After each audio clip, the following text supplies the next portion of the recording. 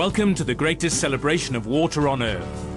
From the 14th of June to the 14th of September 2008, you have an important date in Zaragoza, Spain. On a site covering more than 25 hectares, you can enjoy architecture, culture, gastronomy, and shows from all over the world. Discover Expo Zaragoza 2008 with us.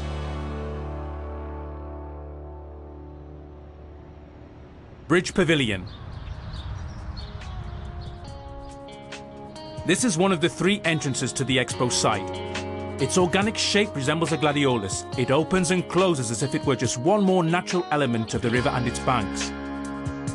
Inside it is the venue for the Water, a unique resource exhibition that gives an insight into the importance of improving global water resource management.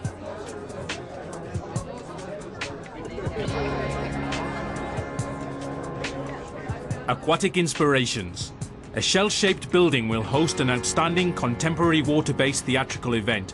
The idea was conceived and developed by Pichón Baldinú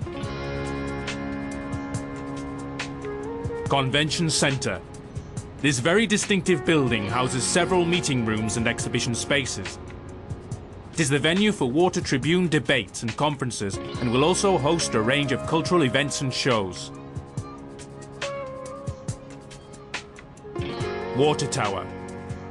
Standing 86 meters high, this building has a base shaped like a drop of water and a facade covered by a glazed curtain.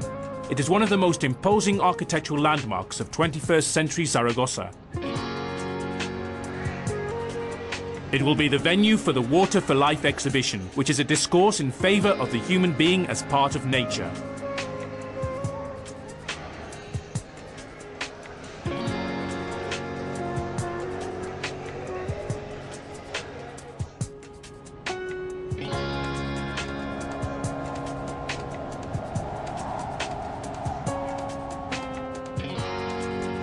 Participating Countries Pavilion.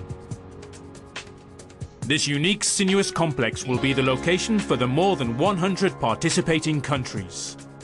A play of light combined with the original colour schemes of the facades will give the impression of different landscapes.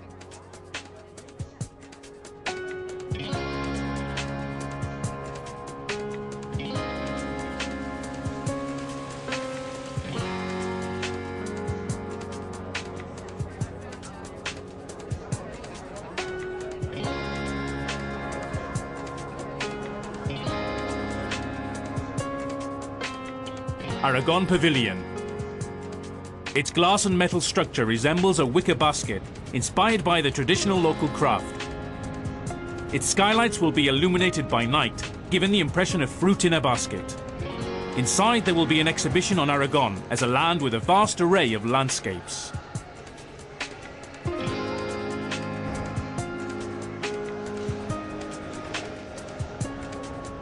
Pavilion of Autonomous Regions, Companies and Institutions.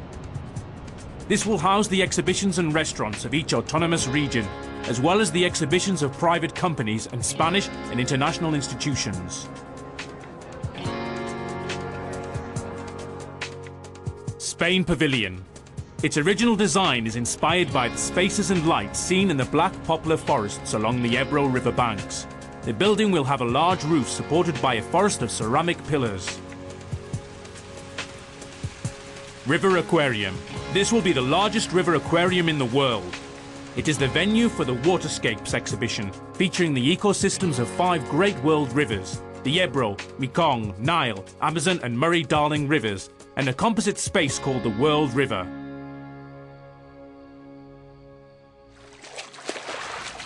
At ground level, along the river bank, Five smaller specifically themed exhibitions will help visitors to experience, understand and learn awareness for the key issues linked to water and sustainable development.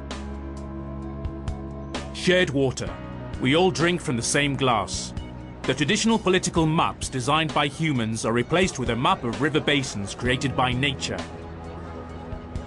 It explains the advantages of adopting a more respectful vision based on the shared use of water and the environment. Cities on water.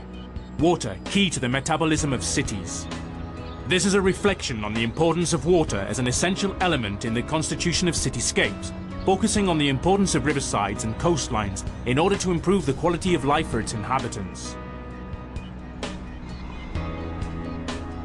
Oikos, water and energy, respectful use and production. This is an invitation to gain an insight into the negative effects of mass fossil fuel use and to become aware of water as an economic and environmentally friendly alternative for energy production and storage.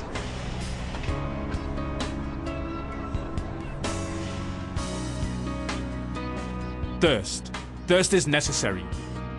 This will be an exhibition showing how the need for water has been a driving force behind cultural development. It shows how civilizations intensify their ingenuity to create hydraulic techniques for water exploitation.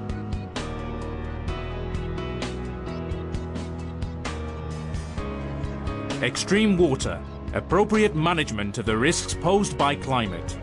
The sensations produced by hurricanes, tsunamis, or gota fria meteorological phenomena are recreated.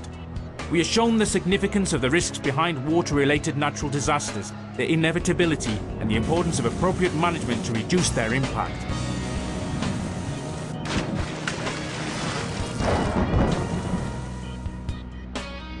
Citizens Initiative Pavilion, The Beacon. This pavilion, resembling an old earthenware drinking vessel, is constructed from natural materials, with straw insulation and mud coating.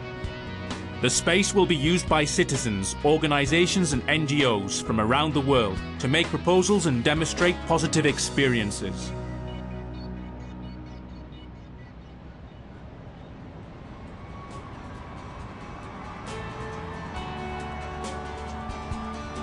Remember, from the 14th of June to the 14th of September 2008, you have a date in Zaragoza.